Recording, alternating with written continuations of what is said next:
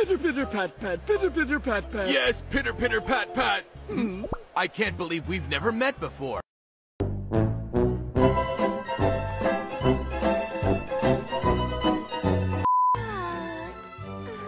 Have we met someplace before?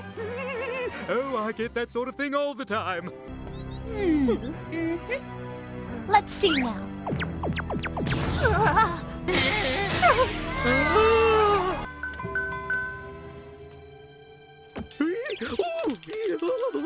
That's weird. That guy looked really familiar too.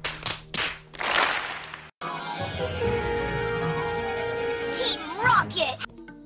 Hmm? My name is J... I mean to say, my name is Jeeves. Jeeves, how do you do? My name is Serena. Do you realize we're Kaz Gym bodyguards? Give us the food or else. There's something familiar about them. Over there. What's that? Uh, it's really nothing! Uh, An inn in the forest? You see, we love consumers. It's people we can't stand. But since you fit neither category, you can stay for free. Ah.